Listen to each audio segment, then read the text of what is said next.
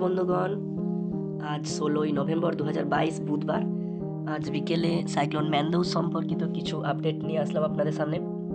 তো সেগুলি রাখব আপনাদের সামনে।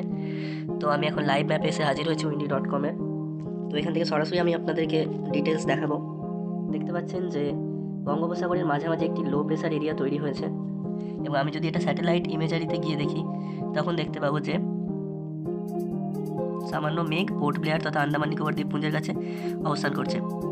এবং আমি যদি সরাসরি সাইক্লোন ম্যান্দৌসের ভবিষ্যৎবাণী আপনাদেরকে দেখাতে চাই, তাহলে আমাকে উইন্ডে গিয়ে আপনাদেরকে ফোরকাস্ট দেখাতে হবে। দেখুন, আজ ষোলো তারিখ, দুপুর দুটো। এখন লো প্রেশার এরিয়াটি ফর্ম করছে পোর্ট ব্লেয়ারের কাছে। আমি যদি আগামীকাল দেখি, আগামীকাল দুপুর বিকাল চারটা নাগাদ, তখন লো প্রেশার এরিয়াটি আরও সুস্পষ্টভাবে পরিলক্ষিত হচ্ছে। এবং শুক্রবার সেটি নিম্নচাপের আকারে পরিণত হচ্ছে। শনিবার সেটি সম্পূর্ণ নিম্নচাপের আকারে পরিণত হয়ে গেছে এবং সেটি আস্তে আস্তে দক্ষিণ ভারতে তামিলনাড়ুর দিকে অগ্রসর হচ্ছে এবং তার এফেক্ট কিছুটা শ্রীলঙ্কাতেও পড়তে পারে। এবং আমি যদি পশ্চিমবঙ্গ বা উড়িষ্যার দিকে দেখতে চাই, তাহলে উড়িষ্যার দক্ষিণ অংশে কিছুটা এফেক্টেড হলেও এই নিম্নচাপের দ্বারা পশ্চিমবঙ্গ এবং বাংলাদেশ কিন্তু টোটালি সুরক্ষিত থাকবে।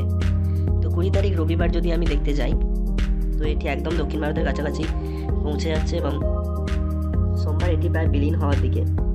দেখুন বন্ধুরা এটি কিন্তু সাইক্লোন হওয়ার চান্স একেবারেই কম।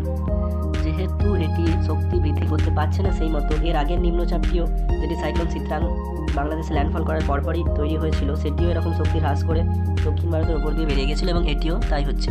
কিন্তু আমাদের মেন লক্ষ্য হচ্ছে এই দক্ষিণ চীন সাগর থেকে আগত এই নিম্নচাপটি, যেটি আপনারা অলরেডি স্ক্রিনে দেখতে পাচ্ছেন। এই নিম্নচাপটি যদি একটি সাইক্লোনে পরিণত হয় তো হতে পারে। আমি বাইশ তারিখে যদি যাই একদিন পিছিয়ে, তাহলে দেখুন দেখুন এই নিম্নচাপটি এখনও দক্ষিণ চীন সাগরে অবস্থান করছে। এবং যদি তেইশ তারিখ দেখি, সেটি কিন্তু থাইল্যান্ডের দিকে এগিয়ে যাচ্ছে। এবং বৃহস্পতিবার সেটি থাইল্যান্ডের ভেতরে প্রবেশ করছে। শুক্রবার দেখুন, সেই নিম্নচাপটি থাইল্যান্ডের উপর থেকে ঘুরে ফিরে আবার বঙ্গোপসাগরে এসে উপস্থিত হচ্ছে। এবং যদি পঁচিশ তারিখ রাতের আপডেট দেখি, তাহলে নিম্নচাপটি মায়ানমারের দক্ষিণ অংশে একদম সমুদ্র লাগোয়া অঞ্চলে অবস্থান করছে।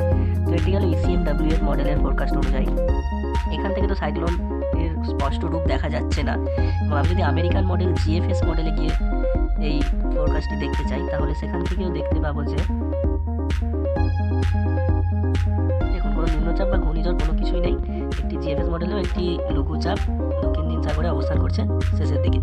কিন্তু আমি যদি অ্যাক্সেস টুয়েলভ কিলোমিটার এই এটিতে দেখি, সেটিতেও একটি লঘুচাপ অবস্থান করছে। তো ফ্রাইডে অর্থাৎ পঁচিশ তারিখ পর্যন্ত আপডেট এখানে দেখতে পাচ্ছি, এর থেকে বেশি আপডেট দেওয়া যাচ্ছে না। কিন্তু আবহাওয়াবিদদের কথা অনুযায়ী যেটি গত বছরও ঘটেছিল যে ডিসেম্বর মাসের শুরুর দিকে বা নভেম্বর মাসের শেষের দিকে প্রায়শই একটি ঘূর্ণিঝড় বঙ্গোপসাগরে হয়ে থাকে। তো এই নিম্নচাপটি সেটি হতে পারে কিনা যেহেতু নভেম্বরের শেষ দিক, পঁচিশ তারিখ নভেম্বরের শেষ দিক এবং ডিসেম্বরের শুরুর দিক, তাই দেখা যাক যে এটি ঘূর্ণিঝড়ে পরিণত হয় কিনা। তো ভিডিওটি ভালো হয়ে থাকলে আপনাদের কাছে হেল্পফুল মনে হলে লাইক কমেন্ট শেয়ার এবং চ্যানেলটি সাবস্ক্রাইব করে এখন আমি প্রতিনিয়ত এরকম ভিডিও দিতে থাকব এবং আপনাদেরকে সাহায্য করতে থাকব। ধন্যবাদ।